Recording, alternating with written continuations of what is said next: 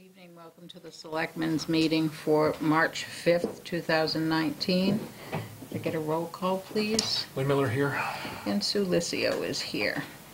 Please join us in the Pledge of Allegiance. I pledge allegiance to the flag of the United States of America and to the republic for which it stands, one nation, under God, indivisible, with liberty and justice for all.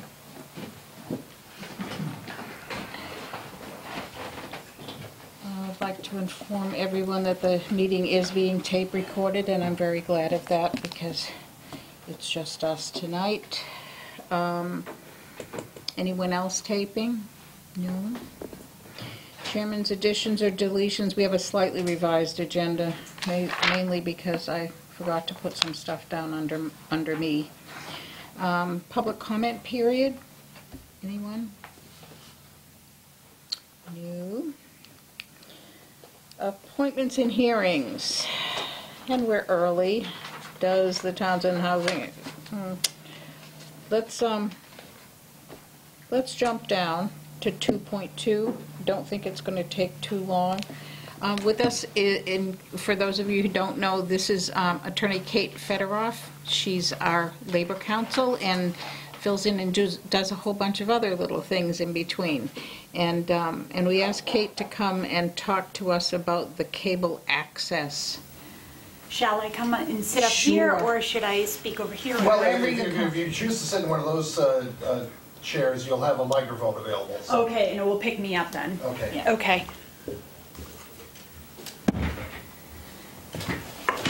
Good evening. Um, Thanks for joining us. Thank you for having me. So, I don't know, uh, there were two issues I was tasked that I should take a look at. Um, I don't know if you would like to discuss both of them, or which one? What I was primarily concerned with, and I think Wayne too, was the access part of it, because there are a number of houses, and I don't think it's a very big number, that have been waiting for a very long time. Sure. For cable. Sure. And, uh, you know, for internet. Yep. Um, And we haven't been successful as much as we've tried to, to get there. So I just want to know, where are we? And where do we need to go and how do we get there? Okay, so Jim provided me a couple of documents to look at with that question in mind. Specifically, he provided the license agreement as well as um, a letter between, uh, correspondence between the town and the cable company. Um, The license agreement, if, if they're the properties that I'm thinking about that Jim highlighted, which surround a pond, is that, that the location? Okay, so these locations, which are a little further out, um, are not covered in the license agreement, because under the license agreement, in order to create access to the, to houses, it has to meet a certain density requirement and all of this stuff. But the town was cognizant of that, um, limitation when you negotiated the license agreement. So as a consequence, it appears to me that the town worked with the cable company to essentially agree to a process to get access to these folks.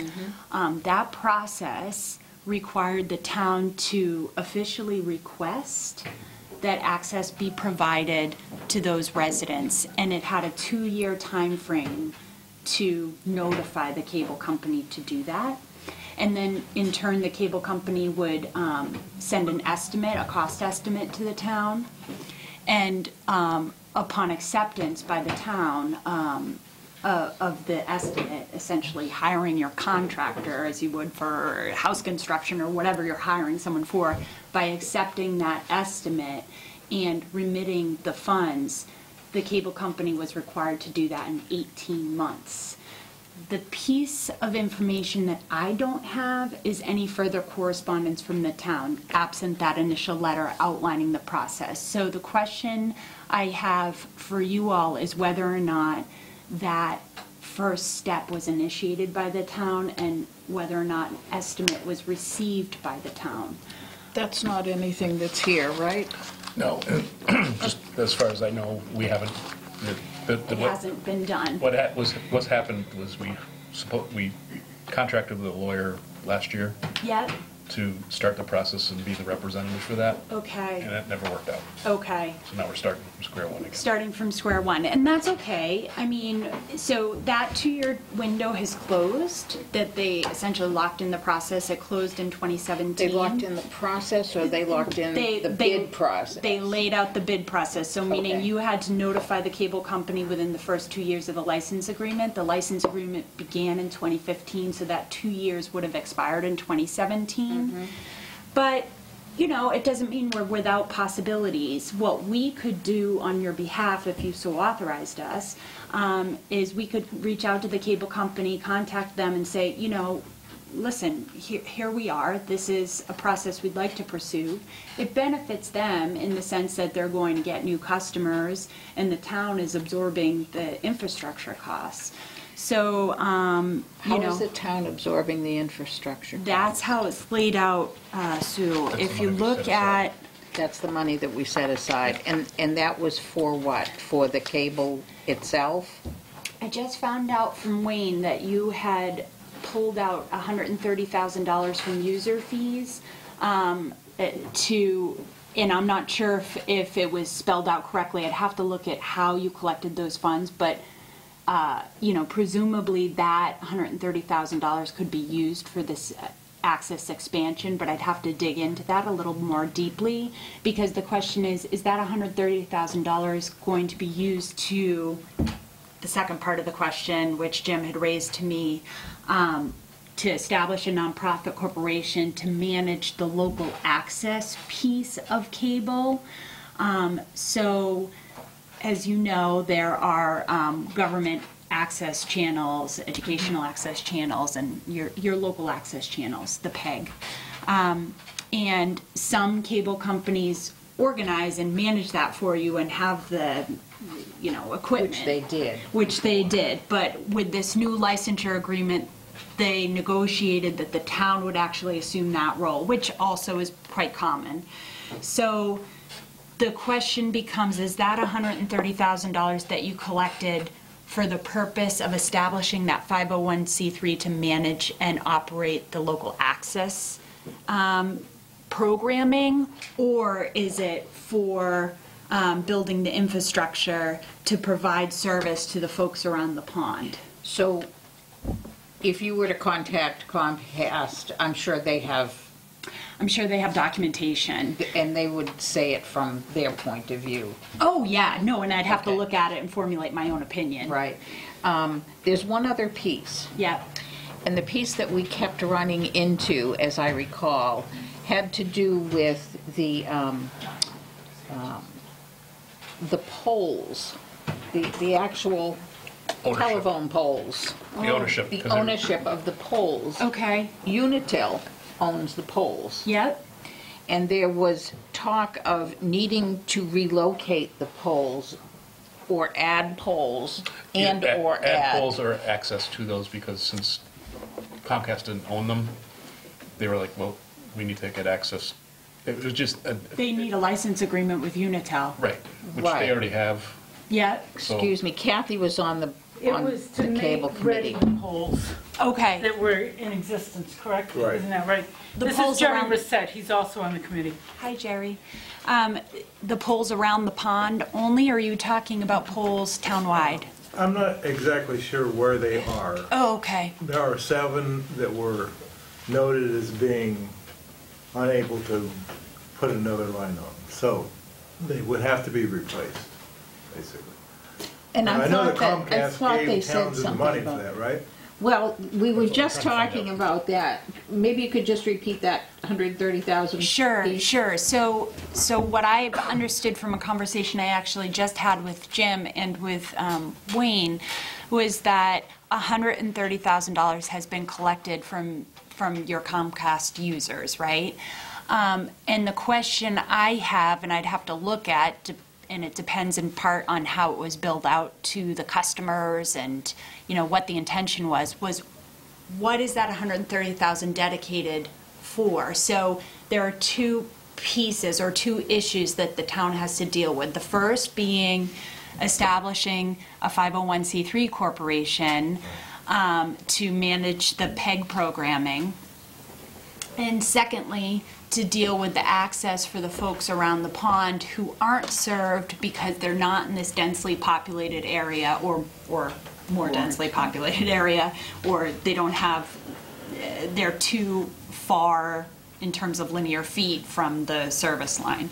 So, so what I don't know is what that $130,000 is dedicated to, but I could figure it out. Um, Do you have the original paperwork that we did with Comcast or anything? The, the contract, we can't find it. It, kind of the exit contract, I guess, is really what we're looking for. Because I'll tell you the documents that I was provided, and it's, and it's sort of limited in that I have the new renewal, so the one that's active for the licensure. Okay, I don't, I couldn't find that one. Oh, I have that, I can email that to you. Oh, great, Yeah. that would be wonderful. I think the easiest thing to do is authorize her to contact Comcast and get the ball rolling on the second. I, I think so, and, and maybe Kathy, could, could your committee maybe work directly with, with Kate too? Sure. To, to see what you have for, um, for documentation? I know Okay. you guys have been working on this for a long time, but it's Yeah. almost like we've got to recreate. Got to recreate the What wheel happened? here. Okay. Because I, the- other than that, I only have like four letters between Comcast and the town. Okay, Um, So any information that you had would be super helpful, and then if you authorize me to reach out to Comcast, I can get the ball rolling on both fronts. Or I guess now three fronts, right? So extending coverage to the folks around the pond. Number two is, um, I can't set up, I don't know if you want me to get into this piece, um, but I can't set up the 501c3 corporation for you because obviously that would be a conflict for me, but I can forward along some documents that other communities have used. okay. I think I'd rather, I, I mean, and the reason we had you in is let's concentrate on, on that On the first access, part, on the okay. access part first. It- And it's not just people around the pond, there are other. See, that's what I people. wondered, isn't there? We, yeah, Old Turnpike Road, uh, You, oh, Rick, hi. are you waiting? Um, he doesn't have it, and there's no poles down, he has underground wires, correct? Utilities. Yeah, utilities. Okay, So there's no Yeah, there poles to poles. make ready where he is. okay, okay. So all of this information will be super helpful, and you and I can correspond. I can give you my card, and we can correspond via email. Okay. And get this ball rolling if you authorize me on all three fronts, dealing with the poles, the, um, He's got to the write out access his to the, motion to so the that he residents has who it don't the have it, minutes and the too. PEG issue. The clerk is taking the minutes tonight. I move the board authorize town counsel to contact, contact Comcast um, to der- determine next steps on um, pole access, ac- uh, public access, and the PEG Corporation, And to work with, and to work with the cable committee. to work directly with the cable committee, Okay. okay? Um, Did you- Jerry has some questions. So just, Sure. now, to get, we're going to get the ball rolling, that's great. So what can we do to help that? Uh, What do you need from us? First thing is documentation. Any and all documentation you have, just forward me um, by email. Yeah. I, I did second that, yeah. Oh, sorry. That's all right. Just, is that complete? Yes. Okay.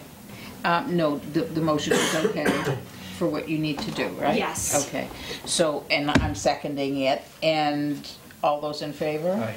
Aye, so that's done. Okay. Okay, so hopefully we'll get this moving along, all right? Okay. Thank you. Yeah, no problem.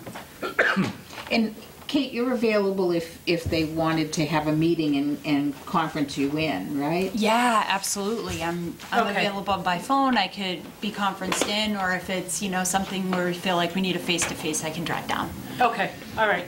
All right, I'll be in touch with you. I'll talk to Stan, he's the chair, Okay. and um, see, you know, what a good time frame is for a meeting, and then I'll find out from you what your dates Fantastic, are yeah. available. That Okay? sounds great. All right, that would be great. And can you guys just, when you have something, let us know? Mm-hmm. So that we can talk about it? Absolutely. Okay, great. Thank you. What's yours, Anne? That's me. Okay, thank you, Kate. You can stay there if you like. Oh, okay. You can stay Because they there if stole you your like. seat. That's true. I know. Um, and I'm not sitting up there, sorry. Okay, now we're going to, so that's 2.2 is done. Um, 6:10, and we're just a couple minutes late, but better late than early, I guess. Uh, Joint meeting with the Townsend Housing Authority to appoint Kevin Smith effective March 5th, 2019, to the next annual town election, which is just in a couple of months. Um, I mean, a- yeah, a couple months now, right? Couple of months, yes. Yeah. Um, Chaz, and actually Kate, I'm gonna ask you, Townsend Housing Authority, joint meeting, but, I'm the only one that showed up. okay, but I don't think they need a quorum. Eh, you don't have appointment authority, so you just need your quorum to Okay. vote to appoint. That's what I thought. And you post just as a prophylactic measure to make sure that if a quorum of you showed up, you wouldn't be in violation of open meeting law, so you're good. Okay, Okay. thank you. Madam Chair, thank you very much for, for hearing us today and So taking the you- time. You have a, a, a person who's volunteered. Yes, And you Kevin. simply need us to, To, to a point, correct. Kevin um, was, has been on the board before. Uh, He stepped down because of personal reasons. He was going through some issues, and he has approached us saying that he is interested in coming back onto the board. Because of his expertise and some of the avenues that we're looking at, we could definitely use his help. excellent, It's wonderful. Thank you, Kevin. I move the board appoint Kevin Smith effective March 5th, 2019, until the next annual town election. Which is Uh, April 22nd. April 22nd, 2019. I will second that. Any discussion? Nope. Thanks for volunteering. Yes, many thanks. Um, All those in favor? Aye. Aye, unanimous. Um, 2.11, warrant article discussion, Townsend Housing Authority. And that, I think we have, Uh, That was submitted Yes. to, so you should have received that. Um, We had talked to town counsel in regards to um, uh, assisting us in drafting the warrant article. Uh, Again, this is for a first step for the additional, the 11-plus acres that are over on Dudley Road. Um, We are looking to build uh, low to moderate income housing in that particular facility. Uh, In order for us to move forward and to see where we can fund this particular project, we are looking to um, uh, adjudicate this to uh, allow the Board of Selectmen to um, um, allow us so that uh, you would take it out of the, the current trust that it's in to allow you to allow us to be able to go uh, to do feasibility studies, things that we need to do on the land before we even uh, decide what we need to do for the next project. and to see if the land can be used for Absolutely, and how much of the land can be used. Okay. Um, So this is the transfer that Adam talked about before. That's That needs to occur so that we know where we're going. That's correct. Um, In the, the last town, uh, town meeting, we kind of put the cart before the horse, so now we're kind of rectifying it and saying we, we have the horse in front of the cart now. Okay. Uh, And this is the first step. This will take a few months from my understanding of it, which will allow us to be able to finish the grant writing that we're doing and looking into the other avenues. Okay. Um, I don't think you need a vote from us. Okay? No, Um, it's the placeholder's already. done. Yeah, the placeholder's already on the warrant. Okay. But, um, okay, this makes sense. Okay. This makes sense. Thank you very much. Just-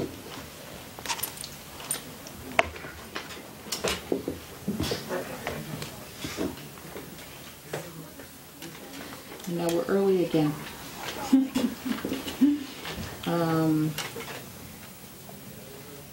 If you don't mind, can we skip down to, um, hmm, that's not gonna,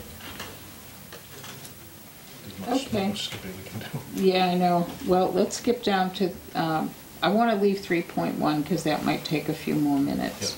Um, three point two. To appoint a selectman's representative for collective bargaining. I asked that this be on the agenda just to make sure we're crossing all our Ts and dotting all our Is. I move to appoint Sue Lisio as the selectman's representative for collective bargaining. There's so many to choose notes. from. I'm, I, I, I'm, I'm thrilled. Thank you so much. Um, I'm I'm humbled by that nomination. Um, This is only if for some reason, when we're doing this, you can't join us. Yep. Okay, so this is just to make it official. All right, does that make sense to everybody? So you moved it, I will second it. Any other discussion? Good luck. Thank you. All those in favor? Aye. Aye. That was easy. We need one of those little buttons. Uh, Okay. Any suggestions there? Six twenty. Do we have any of the Police department's here. police department? Want to start, since you guys are both here? Sure. So we'll start with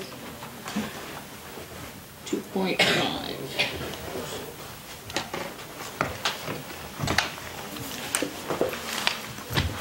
Talk to us about your budget. Sure, yeah. Actually, make it easier. I think I've got a handout that'll help clear up questions before they even get started. You're, uh, you're humor with that.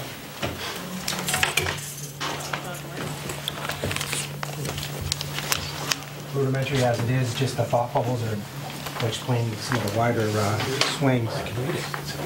Can you read it or no? Oh. And then I know uh, this usually conversation comes hand in hand with a conversation about the number of employees we have, so I think that would uh, clear up the questions before they happen. Jay, could you give me one second? Did you need me again? or- Yes, we just wanted to uh, bring up one thing. Uh, We were on the agenda for 6:20 today, is our understanding. Right. And we sent out emails and asked neighbors to come, and a lot of them did. Oh, I'm And sorry. walked in and found out the meeting was already over, so I'm sorry. we know some of them have questions if you would like to entertain a couple. Okay, do you want to start with questions? Do you want to start with a review of what we talked about? A review. Okay, what we talked about, um, this, this is Attorney Federoff. She's here to kind of help us unravel where we were and where we need to go. Um, and Kate explained that she's missing some documentation. We're hoping that the cable committee has a good amount of that because they've been doing this for some time. Um, but basically, trying to put the puzzle back together and say, where did we get that? When we got the hundred and thirty thousand dollars from Comcast, specifically, what was that earmarked for? Or was it earmarked for something specific? Two things are possible, that it was specifically for the extension of access, and the other one would be that it was possibly for setting up the, the corporation. Or maybe it's a combination of both, okay? So we need to get some clarification on that part. Um, You have a question? Yeah, I'm just wondering, um, how, and I know I should let you finish, but That's this has been going on for some period of time. I know, it's So annoying. what- What's the, why the specific documentation now? Why wasn't it, why wasn't this uh, questioned and and said to be something that was needed? Unfortunately, there isn't one person who has everything. Yeah. okay? It just, it just languished. And um, I think, my opinion is that, um, I think there was some confusion when they did the exit as to when we do what. Um, We also tried unsuccessfully, unfortunately, with a couple of attorneys that were supposed to know, They never did their job. well, he could say that. Um, But we were never satisfied, okay? So we moved from one to another one, and, and now we have, we have Kate, and I have full confidence that, that Kate and her firm are going to be able to help us navigate through this. Um, Is there anything else? No, I'm on it, and I'm going to make this a priority for sure. Okay. Is, so just, uh, I'm not speaking for anyone other than myself, so what's the specific next step and when is that next step going to happen?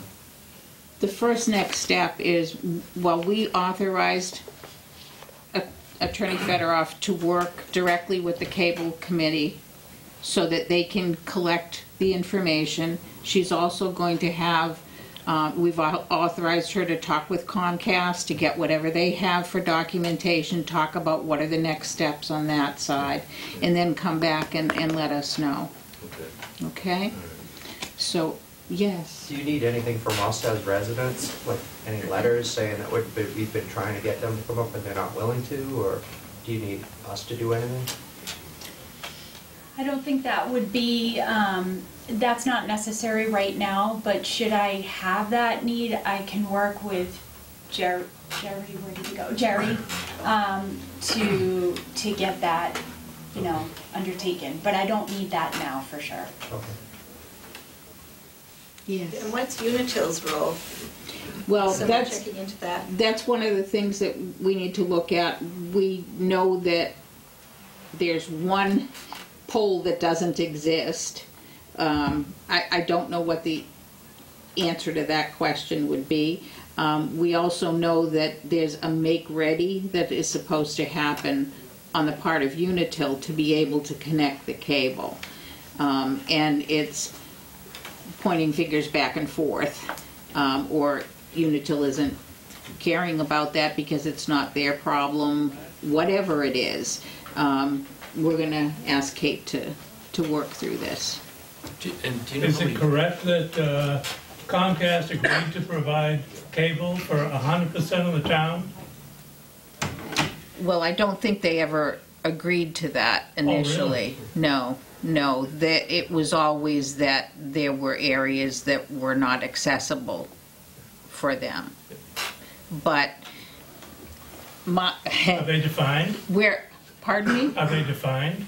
Um, yeah, it's, it's basically where you guys are and, and, Really, um, up front?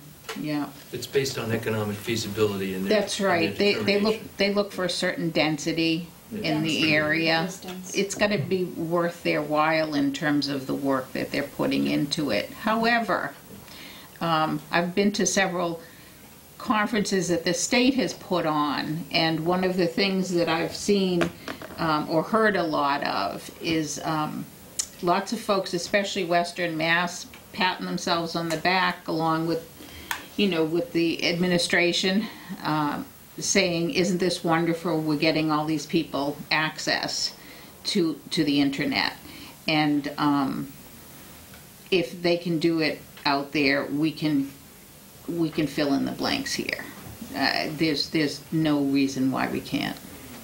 Yes. About uh, a month and a half, two months ago, the cable committee sent a letter to the governor's office about not having cable. Because in the governor's reelection bid, I want every student in Massachusetts to have high-speed internet. Was there any response from that letter that was sent?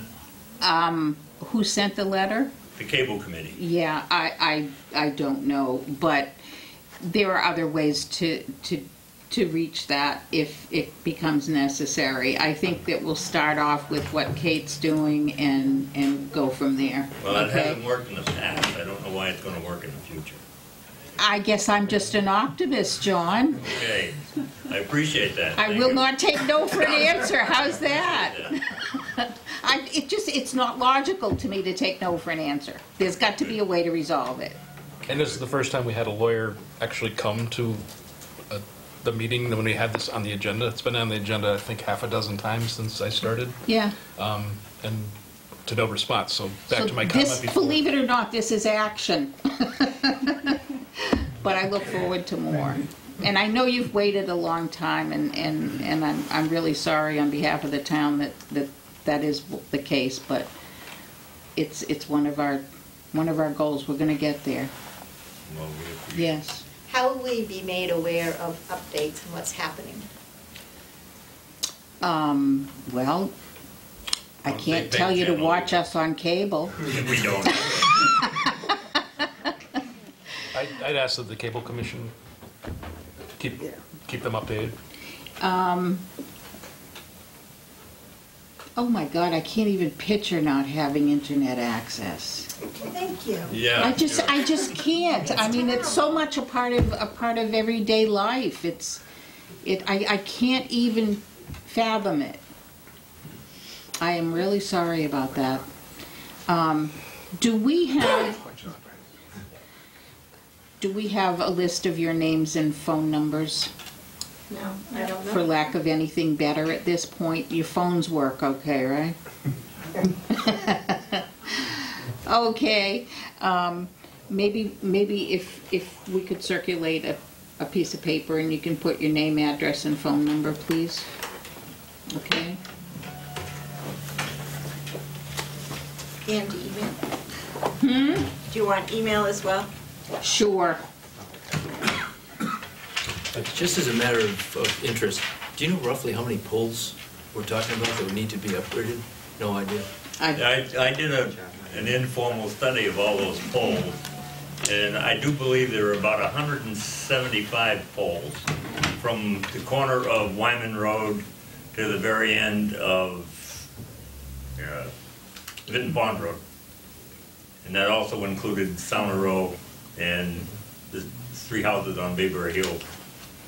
I wish, um, I wish we knew how much money we're talking about. Yeah. You know, that, that, um, I, I, I don't have enough answers. Well, if you compare those poles and compare the poles that run along Main Street that are overloaded, the poles that are up on our end of town are in much better shape than the ones that run along Main Street that already has cable. I'm sure it has more to do with Unitil having to do the work. It has both to do with, and then Comcast approving that the, there is no feedback between the power that's overhead and their lines. And it's a distance between the I, I think the easiest way to describe it is we need a lawyer to pressure the three parties to work together. But first, because- we've got to put the puzzle Yeah, pieces so together, it's, so. this is step one, and we'll get to the next steps and lay, lay out a plan as best we can in the next couple months. Can you create a time frame for at least your next step, so that we have something to look at in terms of a goal? I can't right now. I, I can't right now until Kate starts getting all the documentation together and having a conversation with Comcast. w- w- Would, would have no idea yet. Mm-hmm. Um, my goal was yesterday, but, mm-hmm. Mm-hmm. Mine too. Mm. okay? Any other questions on that? I just have more of a comment. We, we went through this at our last, the town we lived in in Westminster. There was four houses on our road, mile and a half road, and Comcast said absolutely, we will not put uh, cable up there. They made us sign a petition saying we would pay for it if they did it, and then they came and did it for free after the fact. So the financial aspect of it's not always the case. I mean, there's quite a few houses on our road compared to where we were. And like I said, they ran, for four houses, they ran a mile and a half of cable. So Wow. with poles. So some fighting can make it happen. Yeah. We gotta get our ducks in a row first. Thank you. Okay, thank you. Thank you for trying to be patient. Good luck. Good people don't need good luck. Thank you for taking the time to revisit it, since you had already talked about it, we really appreciate it. It's that. been one of our goals since we started this year, so we have not forgotten. Call Westminster, get some tips. Well, that's what you could do. Look at who organized and how they did it. Power in numbers. Thank you. Okay, sorry about that. We pushed it along because we were... Chief Bailey and, and, and Jay, I apologize, but, So the Reader's Digest version is, we had a seven percent increase in the, um, the overall police budget, driven largely in, in part to uh, changes in the CBA being incorporated into uh, the fiscal twenty, uh, the fiscal twenty budget. Yeah, I'm just writing my neighbors Um, on that. There were a couple other slight um, things that, uh, that actually added into it as well. One of them is the continuing effort to try and unpack the communications budget and really start to divvy up where those responsibilities lie. Uh, The goal overall is to try and turn that communications budget into an IT slash communications budget, where it it houses public safety, IT, and public safety communications, and we're well on the way. Um, We've done a lot of work in that regard this time.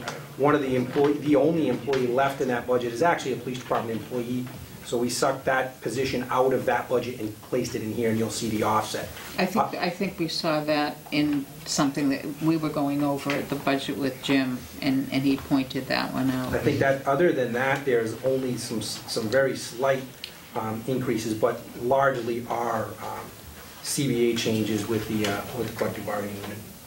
Okay. Easy one.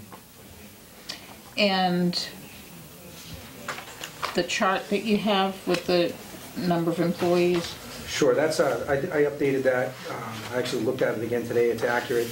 Um, We've got, uh, we've got a number of openings uh, or vacant positions, but they're filled with people in, in currently in, um, in undergoing background investigations after being uh, put through our hiring process, they're just in background. The problem, and and I'm beating this horse again, but the problem is, is there is certainly a lag between our ability to test and hire and subsequently staff the department because you have that academy lag and, and that kind of thing. We had a young lady start the academy on Monday. Uh, we have an, uh, secured a spot for the end of May for another employee. Uh, and then we have somebody in the pike for our opening from, uh, Jim Marchand's recent retirement. So all our positions, if everybody bakes background, are, are, are full. But uh, certainly, it's an ongoing effort for us to keep that recruiting uh, up and running uh, because we need to be ready when someone does pull the pin and not be left on our heels. so you, the, the recruit that you have that just started the academy, where is that academy? That one is in Reading. The one that we have uh, reserved a spot for in May is in Lowell. The only other one that makes sense uh, for us to send people to is one in Haverhill.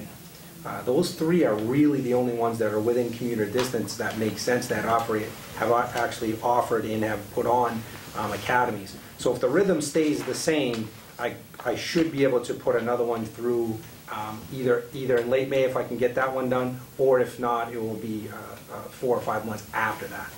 So that, that. And why four or five months again? Because we're playing the game between those three and when they schedule. And they schedule them generally in six-month increments, and they're staggered but not, not completely staggered. So we could tap into one on the other side of the state, maybe Randolph or something along them lines, but the logistics of somebody commuting there every day is, is a, uh, is an And, issue. and, and tell me again, I know you, you said this before, but I, I need it refreshed, please. Um, Why are they so infrequent nearby? Well. Is the- it because, and who's the organization? What's the organization? MPTC, Which is, Municipal Police Training Council. okay. And, and they, they run. And that's a they run state those. agency? It is. It's, they fill them fairly regularly, but they, they need, they pick and add people on. They're not gonna run an academy with ten officers. They wait till they fill it.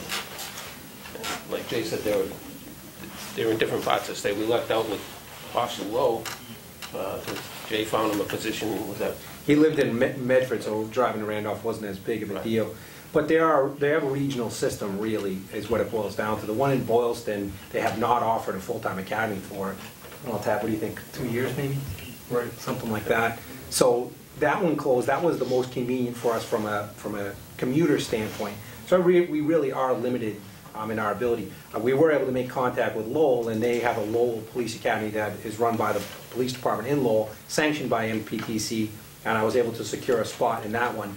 But suffice to say, it's, a- it's a, it's a balancing act just to try and get one geographically close enough to us to make it work.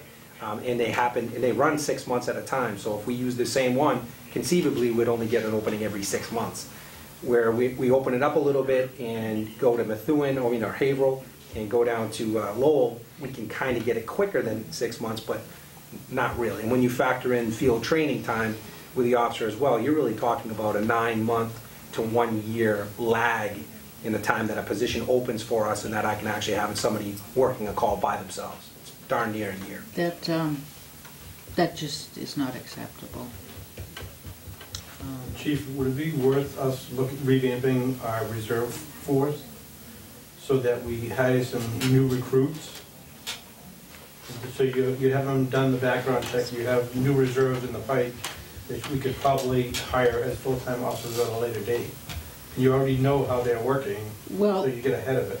I, I don't want this to be a problem-solving session because we're really concentrating on budget, but my reason for being concerned about accelerating that process is logically, and tell me if I'm wrong, but logically, if we don't have a full force, we're spending more money in overtime. Oh, without a doubt. That's correct. Okay. We are hemorrhaging overtime. That does not make sense to me from a financial Yeah. perspective, okay? So um, it's important for us to get to full staff or close to full staff, and it's important for us to do that as expediently as possible. So um, I, th- that's where I was coming from in, in saying that. Um, I'm just hoping it, it's in the back of my mind right now, and what other kinds of activism, if any, we could do One to of the bring things- pressure to bear on that. Certainly One of the state things we- We've talked about too is, is uh, maybe trying to hire full-time people, but the only way that's gonna happen is if you give an incentive. If somebody is a good officer in a, in a, in a job, and they may wanna come this way because it's closer to home, they're familiar with the area, but they're getting paid more where they are. Uh, But that's been done in different parts of the country. Yeah, it's a common thing that's being uh, utilized. try to This be is- attractive to Yeah, this other- is not, we're not alone in this, in this issue, on the both fronts, on the one, the, the difficulty in recruiting, but also in the limitations of the academy. And again, those spots are 60 ahead.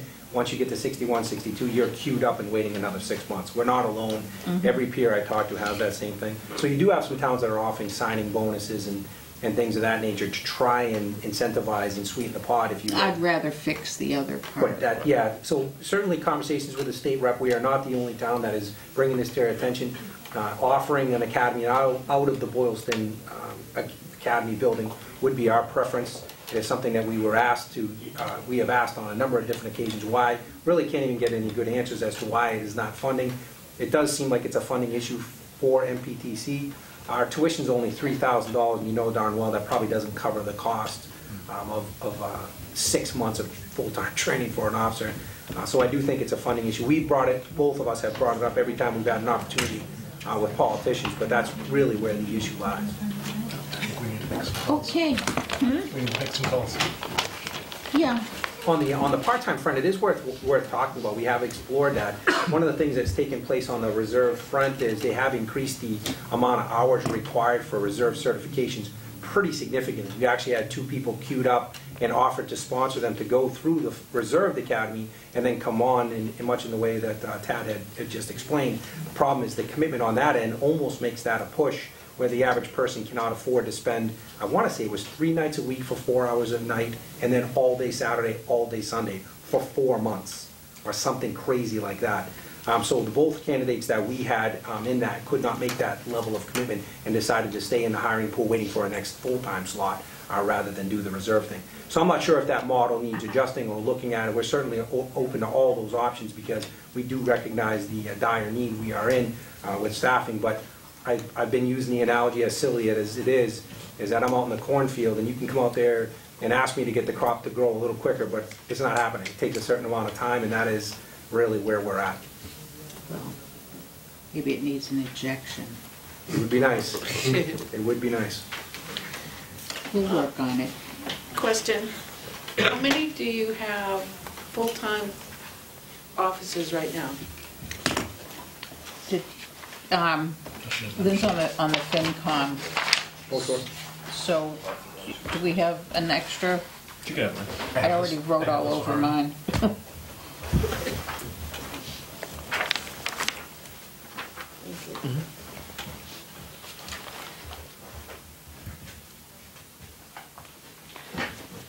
Okay. It just, it just doesn't. So if you look at the authorized for fiscal 19 column, that's what we're authorized uh, for positions, and the actual is in the column all the way to the right. So we have the chief of police, a deputy, a lieutenant, we have, we have two sergeant, two sergeant spots, we have one that's filled, we have seven patrol officers, we have one at the school, and then we have six reserves. And this does not count the three that just got hired in the academy? So we actually have uh, one, it it actually, it actually does, this is, this is current. You'll see the openings where the 13 to 16, uh, we have one, we actually have two full-time openings right now with, with au- with candidates slotted for both of those slots. And then one is an empty records clerk that we're not going to fill. Well, we're getting there. So, It's just taking a long time. And again, you know, if I, if I was finished their background this afternoon, I'm still queuing them up and waiting until May. There's literally something done every day when it comes to uh, uh, recruitment and retention and or hiring a background or something along that lines. Okay. Consumes my day. So right now you have seven, and the three, if they come on, you'd have a total of 10 officers, correct? Right. That's not counting your lieutenant. You've got 13 here, though. So you're talking about Yeah, but I'm full-time just patrol talking officers? patrol officers. Right, that would bring us up to the allocated nine. Well, you have, And then one of the. The two that are in the school staff. academy would bring you up to the nine. There's only one in the academy. One in the Yeah. academy. So we have the two spots, which if you look at that patrol officer's line, those two spots that are in background would bring that seven to the nine. And then the rest is um, sergeants or command staff. okay, I'm still confused. I'm, I'm I not sure of the question. Is it, is the question of how many sworn patrol officers we have or total sworn? Well, here, patrol officers, you have seven. Correct, we have seven patrol officers as of right now that are, that are working, correct. Correct. Yep, And you said, correct me if I'm wrong, that you hired three that ha- need to go to the academy? no, we have two in background. Oh, There's one, there's one in the academy presently. Nobody's hired. The one in the academy's Right. hired. Is hired, but not, No, but those, th- but there's a total of three, correct? no, there's a total of, we have two openings right now, and of those two openings, they are in background. They're not hired. That's why it's seven and not nine. Okay, person in so the you academy is already hired. counted Correct. the one that's in the academy? Hired. He's hired. Okay. She's hired. Yeah, we're Now I paying get for it. her. All right, So the two vacancies we have are in background, although, and slated to get hired, but I. So they're not getting they're paid and we're paying overtime. Correct. yeah. Hmm. Yeah. Because we can't get these on, on board quick enough. I don't have anything. I'm all set. Okay. I'm all set. Okay. Thank you. You're welcome. Thank you very much. Right, FinCom all set, Joe? Yep, I'm good.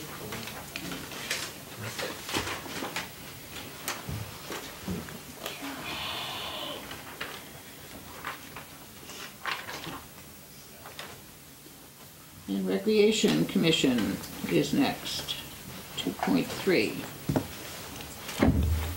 We're here. Good evening. Hi. Good evening.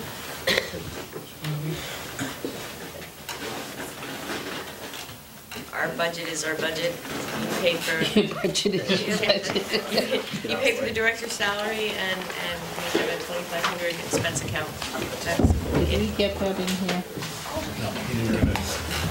Sorry. So- Any of the budget?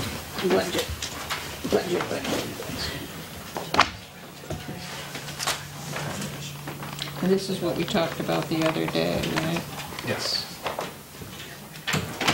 The only thing we talked about was increasing the, The portion that comes out of, but, yeah, the, increasing the thirty thousand. That they can, what do you, what do you have currently in your reserve fund? Do you know? I asked, I asked Jim the other day and, and I wasn't able to get the information yet for tonight. in the revolving. In the revolving I fund? don't know what we currently Okay, have. all right. that was the one question we had in our work session, was Yeah. to see what we could do to increase that, so you could collect more. You mean Joe, did you have any questions? expenses, you mean? Refresh me, Joe, what we talked about Saturday. We're talking about the revolving fund, we're talking about Yeah. um, the, uh, how you paid the employees and the summer help, and that came- all came out of the revolving fund? Correct. Mhm. Isn't it, that's a, a town meeting vote, right, where we give a number, a number is given for the maximum that we can spend? That's Yeah, correct. And we are looking to increase that. Yep, yep, Jim Absolutely. explained that too. Yes. he explained that as well. To authorize you to collect more, a higher Yes. amount, okay? Our only open question was that dollar figure, what that actually Yes. was. so. Mm. Yeah, I'm not, I don't have the exact That's okay. numbers. um, That's all right. But I do, I do know that we, we are not revolving as much as we should be. Like, I know that we have more money to spend, I understand because our programs have increased. Oh, good. So that's why we had to ask for additional funds last year, because we had the additional staffing, because now we have people working So, so, regularly. so know things are, are more self-sufficient now? Is that what you're saying? For our staffing, yeah, Good. for, for the staff for covering each of theirs. Um, and I know that, I think we're in the same spot this year where we're gonna have to look at that again. But yes, we cover all of the staff pay through the programs. Is that what you guys were? Yep. What Yep. FinCom was looking for? Yeah. Yeah, yeah, so, yes, all the, all of the um, fractional and seasonal comes through the revolving fund as part of the operations for programming. Okay. I have no questions. Your budget is your budget. Yeah, there's not, there's not a lot of No. crazy in our budgets, you know. There's it's- not a lot of crazy in all the budgets, you know? It's, it's kind of like, most of it is pretty easy to explain. Appreciate it. Yeah, no problem. Thank you. Thank you. Have a good night. Thank you. Um, Chief Boynton here? He is, he's in the back. Come on down. Mark, you had sent a, a note asking about another agenda item. Um, are you gonna be able to come back? Uh, you know what time? If he has his way, it'll be seven thirty. I plan on having my way. He likes to move it along. And, um, and there will be some parts here that We're skipping a lot. we're going to Jim's not skip here, so. because, because Jim's not here. I can try. Okay. If you, we have our membership meeting tonight, as you know, and we got a couple of fires. Yeah. Major fires that we're doing after-action reports on, so really need, I need to be at the station at least for a a while. Okay. I think we can push the other one when you can, right? Yeah. But if you, uh, if you give me a shout, Push what? Which was the other one? Wasn't it the, was it an executive session one? Mm-hmm. Okay, I remember that one now. I guess when does that need to be done? Now. it's, we've been, we've been Yeah. kicking this around for It needs three to- months. it needs to Three get months, so sooner the better. At least discussed. Um, So if you, if I could ask, kindly ask if one of you give me a shout, give me a call when you're, when you're done. If I'm available, I can scoot right over from the fire station. okay, all right. You have some? Mm-hmm. Okay. Yes, I do. Okay, so what's happening with the budget? So, I'm not sure what you have in front of Um, you. I think the one that, The Phase One Strategic Plan budget. The one that I gave Jim this morning? I think it's, it's the one that we discussed on Saturday, right? Okay. This is the one where you would be going to the full-time paramedic Yes. and um, decreasing your budget by approximately seventeen thousand and an increase in the benefits section. Yes. So I did scrub those numbers today at Jim's request. He sent me an email sometime last week. Uh, As you know, I was on vacation, so I spent the last day and a half scrubbing those numbers, making sure everything was good. And what I discovered was uh, the holiday calculations, they recently signed a uh, contract with the firefighters, and that language changed slightly, and I had not factored that into the strategic plan budget. So what's in front of you is updated, and essentially it's, there's no reduction in the current fire department's budget, it's even. So, so the good news Oh, is, so the good news is, it's, you add, It's not add costing staffing, us it doesn't, anymore. yeah, it doesn't cost in the fire department's budget anymore. Where originally I thought we would net about a, s- a savings of about seventeen thousand. But what I, what I missed in there was the holiday compensation of those people having to work holidays because it's a 24/7 service. I had factored in the holiday pay, in the contract, they get paid for every holiday, but then they also get paid if they work Christmas. Okay, so it netted out, uh, it's a It net nets zero. out at zero. Net So the budget you zero. have there in front of you is basically the same as what Jim has in the base budget, or whatever you're calling it, but the numbers are moved around a little bit. Okay. Well, that's similar to what, what Jim Yeah. described at our budget meeting the other day. Um, Any questions from the FinCom? Uh, the only question we had was the, um, you had under other services, it increased by two thousand.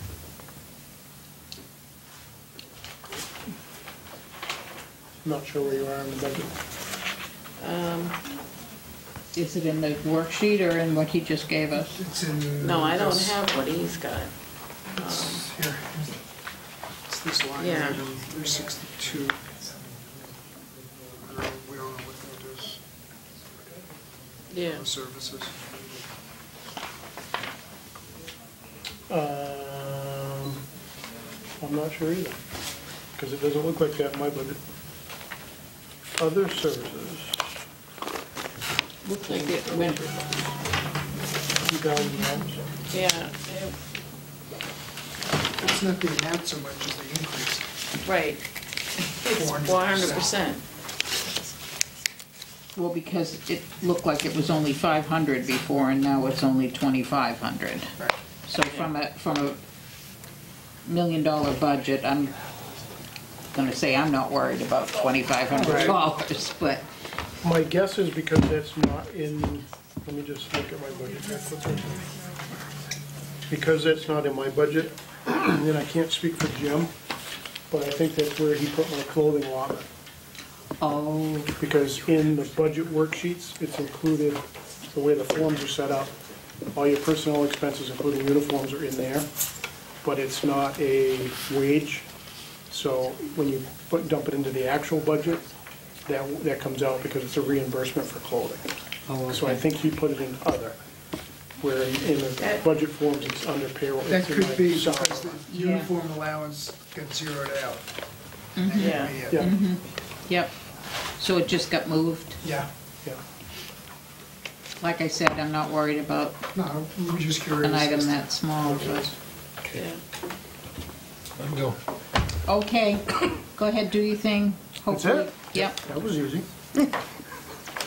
We don't have you down for anything else, do we?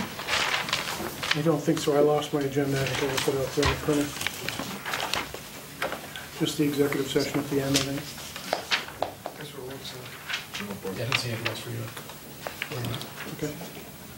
Give me a shout, I'll come back. Okay. My goodness. We are moving right along. Board of Health, is, is anybody else coming? No, it's just us two. Just you? Okay. Not just you. Yeah, Well, yeah, Irene, yeah, out of Irene the was board. coming, but I think that she'll be okay if she misses a little bit of it. Are you But sure? she's, yeah, she's on the recycling committee, yeah, under the Board of Health. Um, That's fine. Okay, so back to the budget, I guess, huh? Most of them are level funded. Did you have any? Do you need copies of our budgets? Um, well, we've got the big worksheet that has everything. I just have to find it. They're a little sporadic, so I do have copies if you'd like, just to have the different budgets for the board. Thank you. You're welcome. And this hasn't changed at all since you submitted it, right? No, it has not. Okay, so tell me what's happening. Nothing, nothing really. I mean, it's all level funded, other than, because most of this is contracts. So your solid waste and your curbside recycling, that's done, that's the contract with Shaw's. Okay. Um, So again, that's already set in the contract. Landfill maintenance, level funded. Uh, and Landfill engineering is also, is that? uh, It's contractual, it contracted actual has gone down Actually, this yeah, year. Yep, and then Nashoba Board of Health, that's where, The contractual Comes in. also goes up 5%. yeah, so not really much control over that. And then uh, just the operating budget is, again, just making sure that there's something in there for um, salaries, should there be an increase.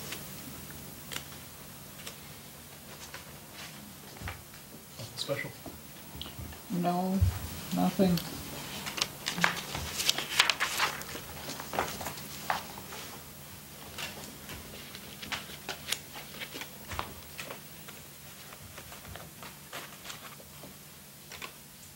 Easy one.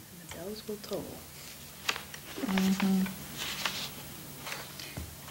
Yes, So Joe? We were okay with the budget to, you know, contingent on the salaries, because that's all Yeah. to be negotiated. Yeah. So we were- we were good. Okay. Thanks. Wasn't that easy? Yeah, thank All you. right, But don't go away. Um, Sue's big question about the crisis in China, right? Yeah, well, So- it's hard because when you, when you go off to these conferences and they're talking about, everybody's in a panic about the cost of recycling, I really, Yeah. So nice to know more about it. So I think what the, what the, the good news is, we're still in our contract till, was it June 2020? Right, when that one will go out to bid. That's when we really kind of have to worry, I think, if anything, because yes, the price should worry 2021. Well, I mean, 2021. It actually is 2021, I keep saying the wrong year. If we So know we got two something's years. coming. Yeah, no, that's why, we- that's why we're putting together some information on that. I'm going to be doing some more work with the I mean, have recycling you, have committee. you gotten any more specific information? Uh, No, it's more about the, the crisis in China, it is what it is. That's where the United States was sending a third of their stuff, right? And now they just shut down, they're not taking it. There's other countries that take it, but in, in essence, the issue, i- i- it's, it's gonna hurt Massachusetts. They, um, they are, you know, could, they're going to see increases and trying to figure out what to do with it. There's already been 70 waivers signed to, guess what? Take that recycling and put it in the landfill, because they can't house it all. So, yeah, it is somewhat of a crisis, but the crisis really is, is in your backyard, because we gotta recycle properly in the first place. We gotta make sure that we're not contaminating. Contamination is. Contamination is the big issue, um, and that's why China didn't really want it anymore. Um, That and the bulk of it, I guess, too. So I think what we need to do is, we need to also, we're in a good contract where we're not getting penalties and fines for contamination. And we have the Shaw's- people. And Shaw's has said that we are really, a good- our town is a- actually very good with the contamination rate. So that part, we're not going to be penalized during the rest of this contract in any way. It, it- it's already, co- you know, this is what we're paying, we get some credit to put towards some bulky items, and that's, you know, so we'll be okay until the end of this contract. What we need to do as a board is be prepared for what's gonna come in on on the bids, and come up with a good bid process that's gonna answer some of those questions that are out there. Shaw's is a smaller operation, uh, the town does love them, but it's been what, um, it's 10 now years. in the 10 years in the cycle, they have to actually go up, to- we have to go up to bid, not just renew the contract. So. Something to be said, though, for soon. The small-town Shaw's actually has, um, they don't have the trucks with the arms, which is a huge problem with the contamination because you don't have a person that's actually looking. We actually have the advantage of the haulers actually are educated. We have the recycle bin, we have the trash bin. If they see that there's contamination, they leave it. They don't pick it up where a- Can you a give us an automatic arm example would. of what, what would be contamination, just for the, for the public to know what, Plastic bags. Okay? Yep, garden hoses, Huge. coffee cups like Starbucks that aren't recyclables. So. Such as um, styrofoam? Yeah, y- uh, yeah, we don't do recycling of styrofoam, yeah. Um, So what we. We did. But one We of the did. things that we. Stop buying it. I have a pile in my basement. Stop buying it. I- We could check into that more, but, and and see what we can do with styrofoam again. But a- anyways, with, with the contamination is making sure it's really clean, stuff that, you know, what people don't know is that it's stuff, the, the list is changing. You can put a pizza bo- box in your, your thing now, as long as it doesn't have any of those inserts, and it, it's only greasy. Food and inserts you gotta take out. So we need to educate. That's key to getting the recycling contamination to minimals. And do you have enough money in your budget with which to educate? We have grants She f- she does a lot of applying for grants Okay, that help and you out with think- that. And that's sufficient, right? at this time. Good job. Yeah. And what we want to do, one of that, part of that education, and we should give a um, shout out, is to the uh, Recycle, I'm going to get the website, I don't want to say it wrong. Recycle Smart. Recycle Smart MA or just MA dot A org. Dot org? Yes. Okay. RecycleSmartMA.org. you can go in there and throw an item in, which I did today, to see if egg cartons, guess what, those are recyclable. Is that on So- our website? Is that link on our website? Yes. So yes, so go to the Those Board of aren't Health the website. Styrofoam egg cartons, they're the. No, it was the cardboard. I did specifically cardboard. select cardboard on my, s- and then that's what's great about the tool. You can go, if you have a question, you don't know what to do, go in, throw it in there, it gives you s- choices to select between cardboard and styrofoam egg cartons, and it'll tell you whether it's recyclable or not. So we want to get that word out there and promote that more, to stick, get- get, get people to start, those who have cable, can start using and looking this up. We, we also have used some of the grant funds to help with buying some educational materials for the schools, and we have some tumblers that we've ordered to help with the, with the tumblers and the plastic straws and whatnot, and those will be given out as prizes for the textile competition. They also have those logos all on the back of them. We They have also- Townsend Recycle, and then they have the Recycle Smart on the other side, so. We are also going to be, um, we will come out with a Facebook media page, but it will be no comments. It will be just posting that Carla will be throwing out regular stuff. We have um, the recycling committee, like Erica Art is throwing stuff out there um, on some of the other pages as she comes across, you know, articles or updates uh, to share through that social media.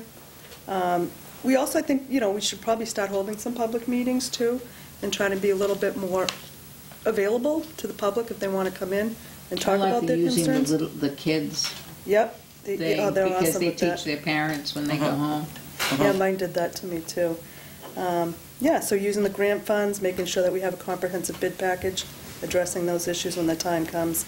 And just keep monitoring some of the things that are going on. DEP and uh, Waste Dive are some, you know, good resources that we use. We've also developed hauler regulations. Yes. And we're going to be figuring out what we're doing with the bylaw too. Yes. The by- We're going to be updating our bylaw, or, I don't want to say too many, too many things, but it needs a, it needs an, o- an o- it needs an overhaul. Okay. So we're working on those as well, to kind of address some of That will actually be coming education. to the town meeting um, next month, in April. The what? Oh, The- the warrant rec- article for the recycling bylaw to be Okay, that's updated. already in the works? Yes. Nice. Yeah, so that would be, that's also revamped in a way, so that's more, you know, still an- another educational piece. Excellent, good. So I think that's kind we're of in a not banning nutshell. plastic ba- bags yet? You know, that, that's funny, because we were just talking about that. That was on our agenda last year, but the state was gonna come out with a mass, mass, the state of Mass was gonna come out with a ban. And it, I was just looking today, and I think it seems like it didn't come out, it didn't pass. And I was like, well, guess what, we're putting back on the agenda, so thank, thank you for that reminder. Um, Yeah, that was, took us, I would've thought that would've passed. you know. That's why we took it off. We figured we'd let the state handle it. And at the state level, if they had done that, they would, but there are 93 towns in Massachusetts that have some form of bylaw. So um, we can take another look at that, too. It could be anywhere. Veronica, did you have a question? Well, I, on the re, uh, plastic bag ban, I am pretty sure I signed a petition for a warrant article to ban plastic bag. When, this year? Yeah, like last week. I don't know anything about But that. I don't know if that, if it made it to, to. I uh, haven't the seen it warrant. yet. I've heard of it, I haven't seen it. I haven't seen it Okay, either. all right. Could be, Jim's a not here, so I could be a can't- citizen? I believe it was. Okay.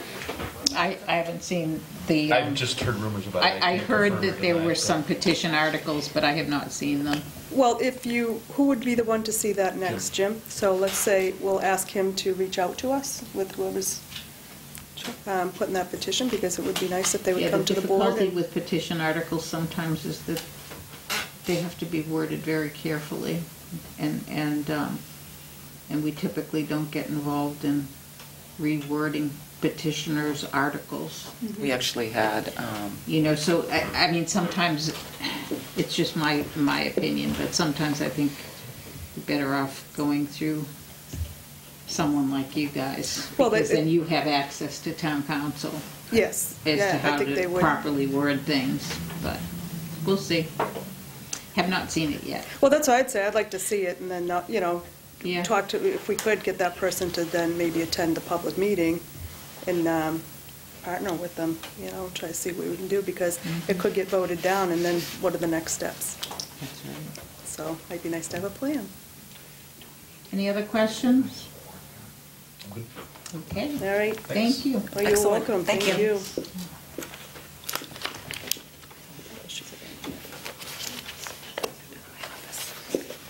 Do you want me to keep sending you things when I get them?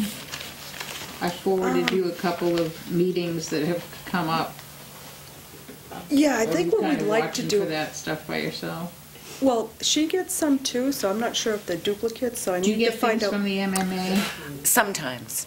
It's, it's If I rather see them, I'll- sporadic. I'll, I'll pass them on. I, I am attending a a seminar next month, I believe, at the end, uh, end of this month, actually, the end, on the recycling. Okay. Yeah, yeah. Just keep us up to date. Yeah, Okay. we'd like to kind of like, kind of control, like, do we go to this one? We don't want to go to all of these Oh, ones. Yes, I did get that email, though. He said, she said, or whatever, that there was another one coming out, whoever the person was that sent it to you.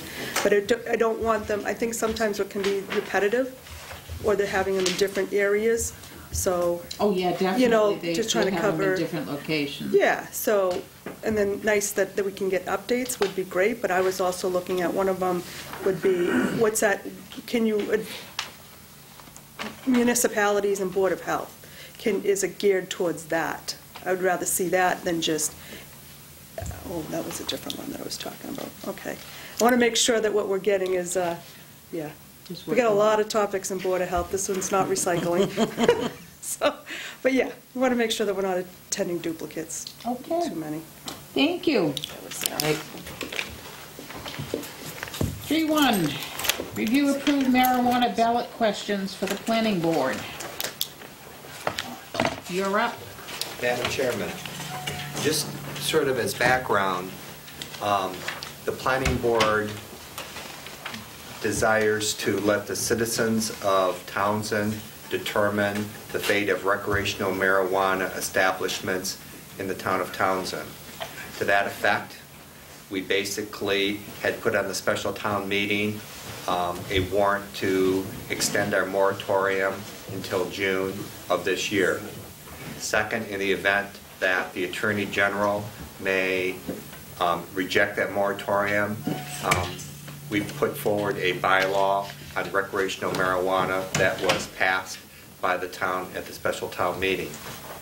Continuing to follow up on our plans, um, we are proposing seven ballot questions that individually ask the town residents to go ahead and determine whether or not they want a particular form of a recreational marijuana establishment, i.e. retail facility, test facility, cultivation, etc.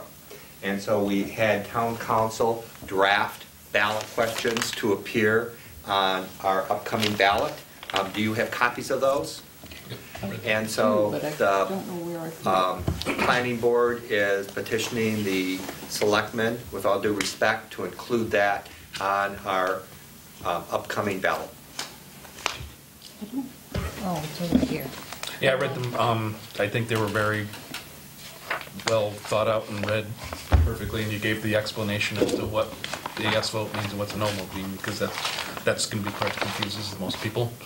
Um, And, May I approach Madam Sec- Chairman?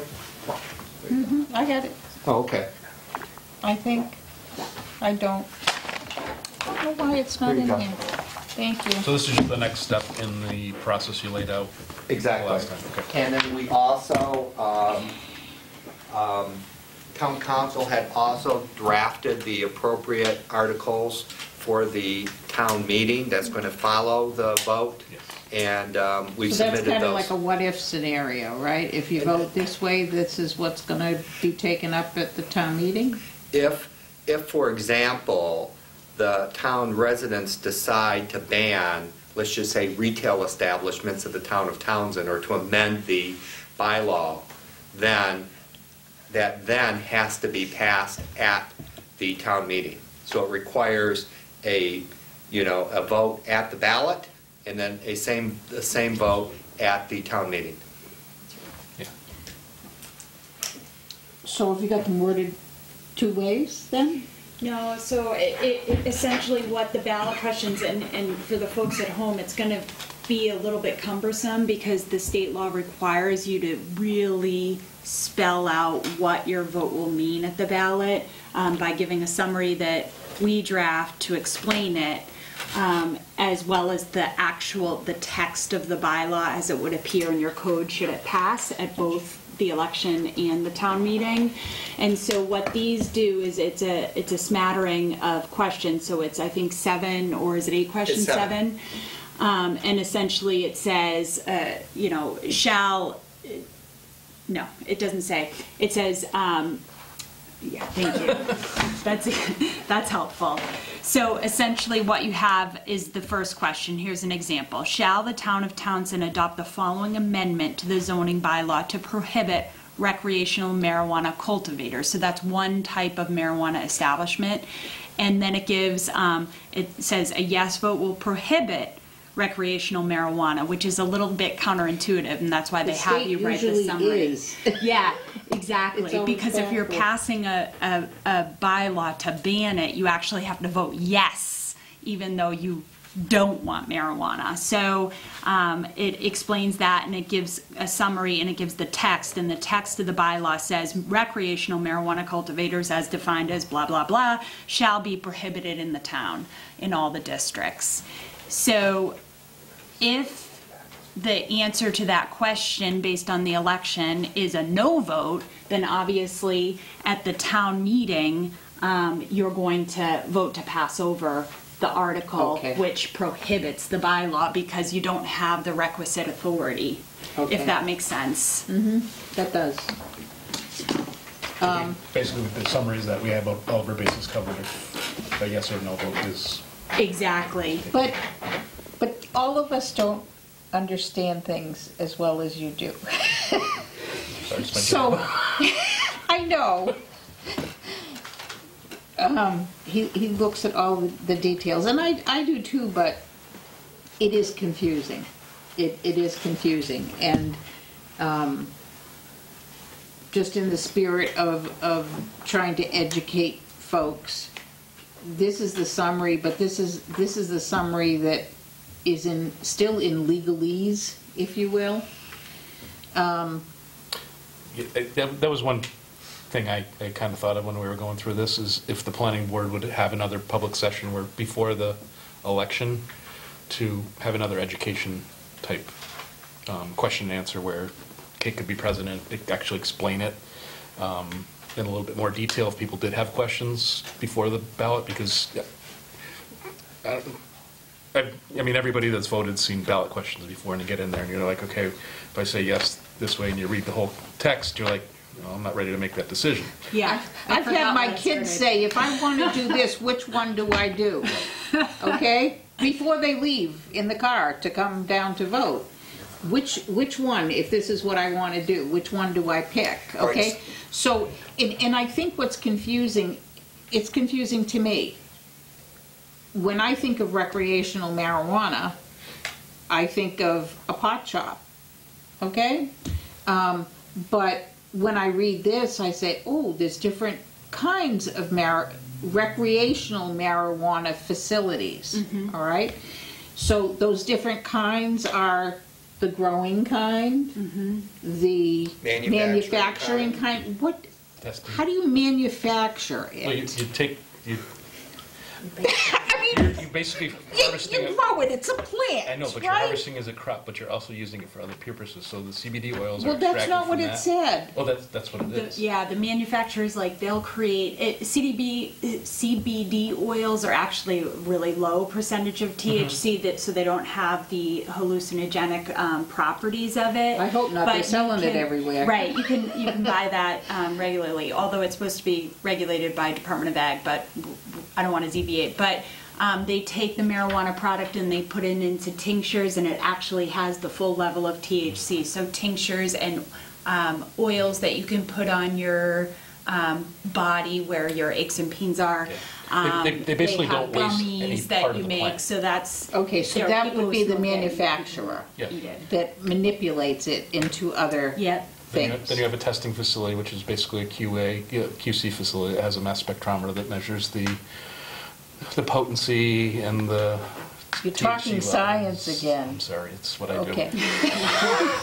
Um, So, outside of the recreational pot shop, if you will, Mhm. all the other facilities that you're talking about here are closed to the public. There's no access. There's no. Uh, they're very high security. Um, there's it's not like you can, you're driving down the street and you see this big sign that says, we're testing pot here. And the growing, the growing facility is really a boxed in, it's a building There's not facility. a facility in the country that is outside. Okay, so it's not gonna be like the cornfields that No, we're used to They're not replacing seeing? a farm with a, a pot Okay, farm because all right. the growing This is season is good. twenty-four This is seven, good. three sixty-five inside. Okay. And they want to maximize their growth in So the tell me again, what are, what are the different ones? Retail establishments, Okay, which is what I would call a pot shop. cultivation, manufacturing, research and development, test, distribution, The transporters, yep. transporters, and I'm missing one. Medicinal. No, it's not. No, that's a medicinal. separate. It's the one Um, that is kind of like. retailers, cultivators, manufacturers. All of, the- it's the catch-all. all- Oh, and that, yeah, exactly, the catch-all. The catch-all. What's a catch-all? So, Something- Anything that doesn't fit into any of those categories. Somebody will So if think somebody came up with a different way, uh, well, I want to open this kind of, s- I can use it for this. Yeah. so, so interestingly, interestingly enough, um, in 94G, the research facilities weren't expressly set out, um, but it, they came to the conclusion that you might need a research facility who's going to determine what kind of products are, are receptive to accepting marijuana or something like that, um, as opposed to the testing facilities, which are to make sure that the products are accurately identifying the amount of THC and other kinds of, if there are um, contaminants that are affecting the plants. So that's a, a great example of something that they didn't contemplate originally. Um, now they've made it a separate license, but something else could crop up. No pun. Um, No pun intended, right? Okay, so, just in, in plain language is what I'm suggesting, okay? Just like we talked about it, so you dumbed it down for me a little bit, and that helps. Okay. Um, When, when, when do the ballot questions need to be finalized by? Uh, March 20th March 20th? is when I will, that's the last day to withdraw. Okay, And I have so, to send it off. um, so, um, I'll take the action item to go back to the board and then schedule a public hearing. Um, and then we can see if we can actually have it televised to go through the ballot questions. I, I think, But will the- that um, change the questions itself? No. But I, I don't think there's, they're- I think they're as plainly written as you could possibly get, Right. so. I don't, I don't think you're gonna, you're gonna have to worry about this. I mean, I think this is the way it, it's gonna be. Yeah, but clearly, I think I want to have a public hearing before, Yeah. You know, a or- meeting to- Or I mean, you- publicly ask people to come to your, your meeting if they have, or just do a meeting on, I would think that if we wanted to educate the public, which was the goal, that maybe if we could get it televised at the mm-hmm. same time. Mm-hmm. So let me, let me work with Beth to see what we can do. I mean, either, even if it's an agenda item or something that we can get it televised to get the most outreach to the community as possible, so that Because- they're better because- informed, or they're, you know, they're informed when they go to the ballot box. And the, the I mean, one- what you don't want is for poor Kathy's election workers to get the questions. You know, I mean, that's not something that, Yeah, that they can really get involved in, you know? Yeah. But, but unless they have mom telling them which one to pick out, you know, they're gonna, potentially, they could get there and, and not know. And because it's a, you have to vote yes to ban it. Yeah, it, it is It's a bit confusing. I tried to write them in using colloquial language, you know, tried to, my first pass was, was much more, Much much more more difficult. It's the worst, it's the worst offense that we all commit as lawyers, so, um, but I can understand, it is a little bit tricky, and you wanna make sure that you've, whether a proponent or an opponent, um, that you've voted the way you want to vote, um, so So- your intention's captured. Perhaps this is a, a dumb question. Is there anything, or how could we um, encourage any, like, Nashoba Voice or anything like that? uh, Put any sort of an article out or anything? Is there any other way to reach the public that, you can write an editorial anytime you want, Yeah, I'm trying to think something that's on front page or something that gets read. not unless you're gonna pay for it. All right. Okay, so we'll, we'll see what we can do with The a, challenge has been given. okay. Understood. Okay. That's, you know, it's just my opinion, Yeah, but I think it would help. all right. Okay. Well, it can't hurt, let's put it that way. Nope. Okay, so do we have to vote on this I guess so. to put it on the ballot officially? I move the board approve um, the marijuana ballot question for the, from the planning board to be put on the upcoming ballot with the town clerk. Do you need the date on that? Kathy, what's the date of the election? I mean, the... April 22nd. April. April 22nd, 2019. I'll second that. Um, any other discussion? Uh, Nope, I'm not set with it. All that, in- all those in favor? Aye. Aye, unanimous. Thank you, thank you, Kate.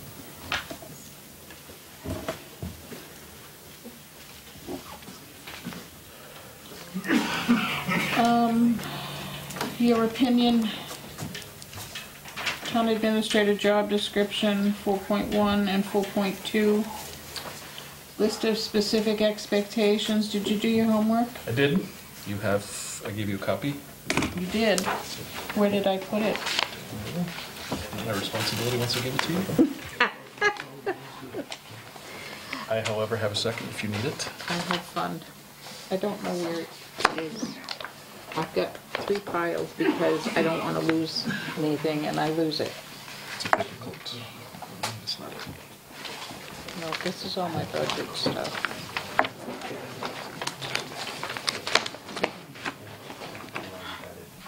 Here it is. Yep, yep, that's it. So what I did, just to explain, So we can take these together? yes. Okay. Um, So basically what I did is I took the comments, and Kate, I can give you one too if you want. Oh, okay. Since it's. You got the crappy ink, I'm sorry. Okay, no, no. Um, So I took the original that we talked about, I took the pieces that we marked up, um, for instance, I'll fir- use the, the first one is, um, You looking at the contract now, or you look, you're not looking at the contract? no, just the job description. Job description. So third paragraph down, um, we had had some discussion about um, goals and objectives. Where's the job description? It's in here. The red's just track changes, so I Oh, didn't change oh, anything. I got you. All right. That- The, the original stuff is still in, it's just All right. redlined out. Um, So I went through and when the, the- changed some of the comments that we had made on the, the previous one. Mhm. Um, I took the chart that you gave and I inserted either language within a current paragraph or created a new one altogether that um, went through. So I consolidated as best I could from your list. I left out the goals because those are going to be talked about in the expectations piece so that it wouldn't be in the job description. Mhm. Um, And I just want you to review it, I guess is the next step, um, and see what you want to add or change to it, so. Because I know I'm taking your language and putting into my words and typing it, so. That's all right. Um, Some were a little bit redundant in my opinion, but um, it's basically just, So basically, we're taking some of the things that I had on my list and incorporating it into the job description? Correct. Okay, um, to make sure it's covered. to make sure it's covered, it's, um, it's not rea, it's more proactive than it was reactive, so that's Mhm. kind of what the theme, if you read through it, that's what I was going for. Mhm. Um, And, I mean, the bulk of it, I didn't change much because the- it's really under the essential functions was the only part that I really did some editing. All the other requirements and stuff like that are um, basically the same. And I, I mean, substance, I don't think has changed that much. No, Okay. it's just really defining more of what you So should. that's, that's the changes to the job description. And then when we start talking about the, um, and, I mean, it looks fine to me, it makes sense the way that you did it, I Okay. appreciate it, thank you. Mhm. Um, If I can find my little, yeah. No, here it is. Nope, I have too many worksheets. Here we go. If you, um, if you look at that, I, basically what I want to know is, does that make sense to you? Mm-hmm. All right, and you've got it numbered, Yeah, so what, what I, just in terms of so what I, putting it in there. so like, four, five, six, and 10, I thought fit in this area to spell it out a little bit more detail, and then the sub, same with the subsequent ones, so I could keep track of what, because originally, I didn't have the Word document here, and I didn't have your Word document there, so Mhm. um, Carolyn recreated the Word document for me, so I had something I could work off of. Okay. So that's, that was how I did it. So when I look at the expectations list that I came up with, Mhm. you've got these marked as goals. I incorporated everything but goal, what I considered goals. So I moved those to the expectation piece of it, where we'd be setting his goals and expectations for the year, for the position. Okay. And how, you see, these are all goals as far as I'm concerned, but you're saying that it's all part of the job description. I incorporated it in the job description, so it would be reviewable, uh, a performance review. Okay. And that would mean that in creating, say, a performance review document, we could take it directly from the job description? Correct. Okay. Because that uh, ultimately is what we would. That, I mean, that's how I need to do. wrote, that's how I've written my job descriptions for years, so. Okay. Um, because. This works for me. um, outside of goals, there's expectations that you should have to do your job. Mhm. Um, And if you aren't doing those, I don't care if you accomplished all your goals, you aren't doing your job well. Okay. So, um, So it's a measurement tool. It becomes a measurement tool. And if you read through what I wrote, that's kind of what I Mhm. asked for. Yeah, I is can to- see that. I can see that. Was there anything that I had down that you disagreed with that should No, it's- not be part of this? No, in some of it, I, some of it, I either consolidated or changed it slightly to fit it in, so I didn't, have to- I I didn't take this, basically I didn't take your document, just dump it in here. I, I consolidated some, changed some wording here and there. um, Yeah, and, and I mean, basically, I just wanted to make sure that what I was thinking Mm-hmm. was compatible with your opinion as Yeah. well. That, And- and I that's, you know, that's the I big, think when you take that home tonight, whenever you do Yeah. it, review it. um, Yeah. Mark it up, I have electronically, so I can make changes and go from there. I mean, I think I'm good with this. I'm, I'm really good with this. You didn't get a copy of No. this piece, um, and I can't find the other one. This is yours, I'm not gonna take it. Okay, Um, can read that. But yeah, I, I think that makes sense.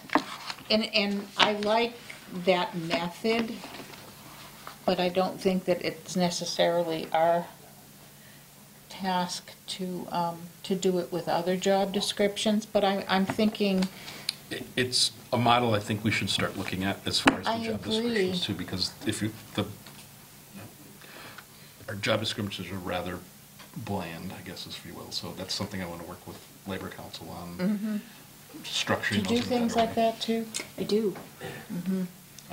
Because I've written enough to know that, you know, some of those look like they were written in 1970, They probably were. Well, which is no. why you can't find a Word document on it. Exactly, I can't believe that. So, our, uh, just to update you, our, our goal is to update job descriptions every two to three years. Oh, that's To smart. keep them current, Mhm. um, because, uh, as you just described, they're not. Yeah. And, um, and we thought we'd start with the, the town administrator, because that's the one that reports directly to us. So, um, that, it's a good, it's a good task to go through. Yeah, And, so and to you'll, come you'll out find the word final. proactive quite a bit in there. Um, I, I agree, because that particular position, I think, requires proactivity. And it's the same comments I had last night at the school committee. Yeah, exactly, same thing, yeah, You can't keep doing it the same way and expect a different outcome, yeah, yeah. so. Okay, I'm good. Okay. I'm good with this. Um, maybe we, we can put it on the next agenda for. If you can um, send me back your comments, then I can incorporate them. I don't know if we can do that. So, yeah, you've got a quorum can't do issue that. there, because Yeah. there are just two. So, so review these, our next meeting, we can, And then you can Comment. exchange comments at the next meeting. And then unless- just yeah. vote on it. and then Yeah. pass it Okay. as a first reading. Okay, Yeah. sounds good. Okay. Thank you. Thank you for doing that. No uh, real team effort there. Wayne? Hmm?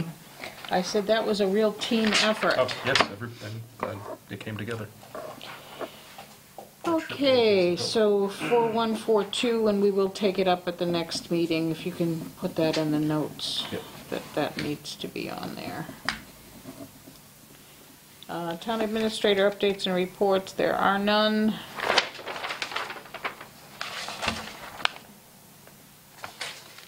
Can we forward these to the, oh, God. Um, Actually, can we talk about the status of the capital planning report? And the reason I want to talk about it is because one of the capital planning members is here, Yes, sitting they, next to me. I received a request last week from Lindsay, who's the chair of the planning committee, capital planning committee, um, asking my um, a- availability. And the date that she gave me was not, I was not available, so I didn't hear anything else if they had a quorum to meet, um, other- or otherwise, so that was the last. How many communication. meetings have you had? I've been to one, I think they've had two. Okay.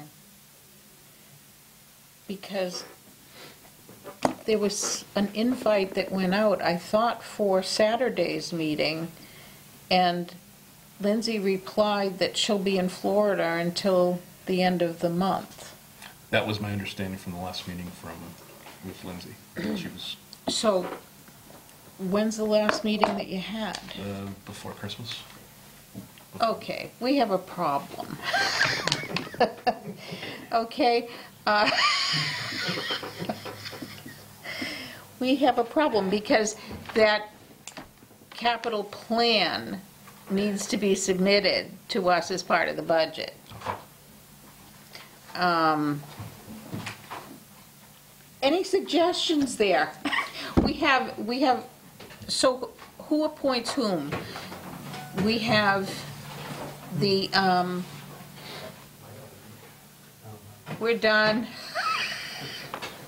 You missed your section. Forty, you guys went early? Yeah, Okay. yeah, yeah. I'm sorry. Everything went well. Okay. Okay, sorry. Um,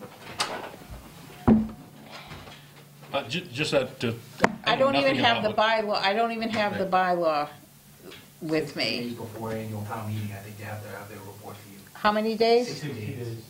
60 days before the town I'll the meeting. policy for a look at. Oh, have you got the policy? Good guy. This is a team effort. Wait, Do you have the language of the bylaw? Because sometimes that's critical Have you because, got the bylaw too?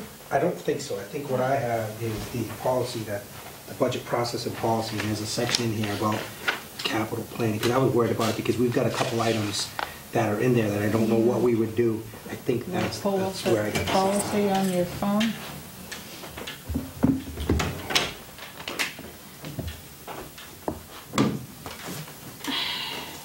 When 60 days before the town meeting? I I think it was that day that Kathy was saying April April, 22nd. but I don't know if the town meeting's in May, it can't be April 22nd. It will It is, be 30 days, It's, it's, yeah. so it's gotta be now, like within two or three weeks. so depending upon how the bylaw is written, I mean, some, some, the language is really super important because there's actually case law on this kind of issue. Um, and some cases find that it's a mandatory component, so you can't react or take town meeting action without certain reports. Whereas some say, well, it's just advisory anyway, so you can't bind town meeting's hands, who's the re- legislative body, for a failure, for an administrative failure. I was under the impression that, well, there was a situation one year Yeah. when um, there was actually, the capital planning was required to make a revised plan Uh-huh. in order for us to take it up. Yeah, I can take a look at, I mean, we have, um, it really, the language is very, very important, and that decides what dictates here. So I can take a look at the bylaw and, um, give you some advice.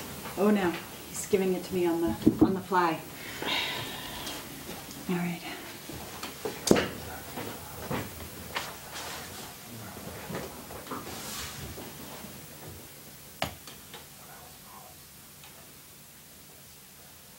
So Chief, I, I mean, uh, Deputy Chief, I assume that you have um, a request in? We, we have two for fiscal '20. You Um, And the rest of them are, are on the outs, meaning 21, 22, but it is part of the plan, and it's important to understand if this, if there- those things were not approved, we would have to punt, because some of them are, are acute issues.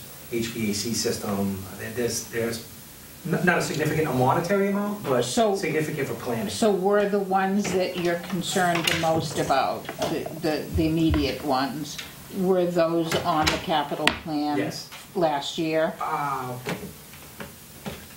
Do you know what I think mean? 'Cause it's a five-year plan. I think I had to recreate it because I think it was a mess. So I'm not, I'm not entirely sure, Uh, actually, I think I might have it. I don't believe in there, I don't believe as they are, they were. If they were there, they were substantively different. I had to go back with facilities and kind of recreate because it, frankly, it wasn't done well the year before. Okay.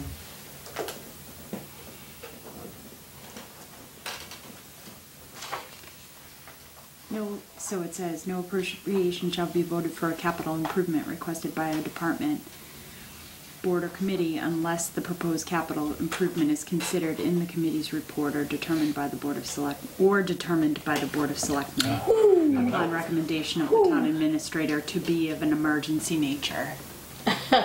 Well, it's kind of an emergency nature if none of this happened. Yeah. But some of the items on the list are not of the emergency nature. They're- nature, They're capital so- improvements, they're not necessarily acute problems.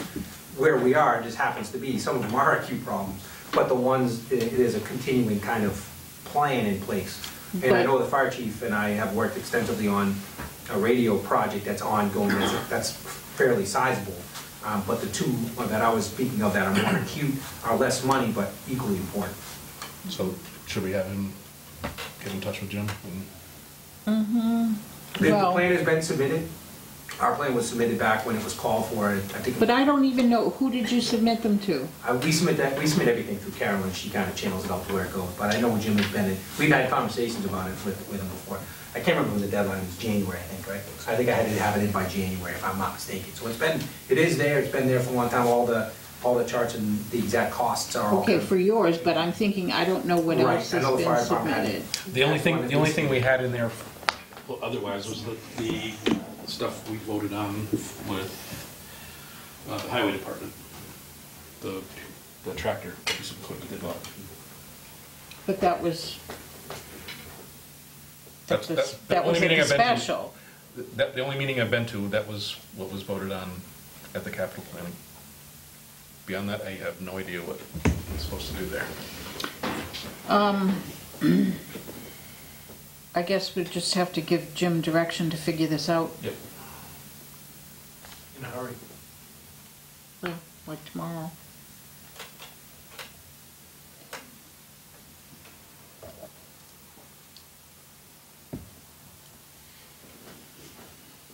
Okay.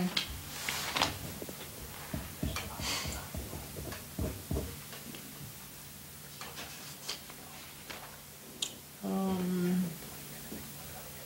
5.2, Board of Selectmen announcements, updates, and reports. Um, I have a few listed. One is, I'm withdrawing my article for change to a five-member Board of Selectmen. My personal opinion is that the town isn't ready for that yet. Um, And it's probably more appropriate were the town at some point ready to say we want a town manager. Um, But I don't think we're there. Okay. Okay? So that was just an FYI to everybody. Um, Budget calendar, um, and I really meant all calendar. Wayne, what's happening with you? We're not meeting next week, that's correct? Correct, I'm not gonna be here, so that's out. Um, The 19th, I have to change some plans, but that's not a big deal. Can be there. Okay, so our next meeting then is the 19th, as we had scheduled, right? Correct.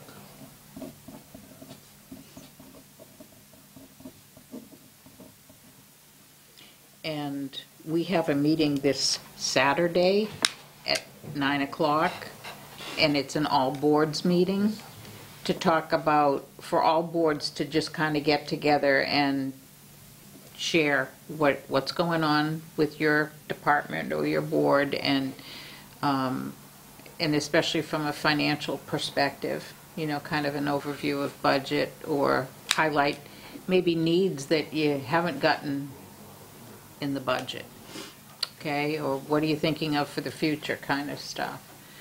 Um, A chance for hopefully everybody to get together and, and really um, start a sharing, because I don't think enough of that has been done. Okay. Okay, right hand has to know what the left one is doing, or you're gonna be all tangled up. Okay, so that's Saturday here at nine o'clock. Okay. Okay? And beyond that, if we were to need an emergency meeting of some sort as a result of the um, discussion we just had on capital plan, mm-hmm. are you around the rest of the week? I'm here the rest of the week. Okay. Five, three, clerk, oh, future agenda items, I have a few. I just wanted to know if you had anything. Uh, no, not yet. Okay. Thought that far ahead. Um, Then I have two weeks to do it. I'm not gonna worry about it tonight. Um, Five, three, clerk announcements, I got any? Nothing. Okay. Uh, Board correspondence, there is a um, piece of correspondence from Comcast, uh, channel updates and information for users. I would suggest that folks, um, folks just go on to the Comcast website to find out what's going on with channel changes. And five-five, approval of meeting minutes for February 5th and February 7th. I move the board approve the meeting minutes from February 5th, 2019, February 7th, 2019. I'll second that. All those in favor? Aye. Aye. And that's unanimous. Five-six, review and sign payroll and bills payable warrants. Move the board review and sign payroll and bills payable warrants outside of session.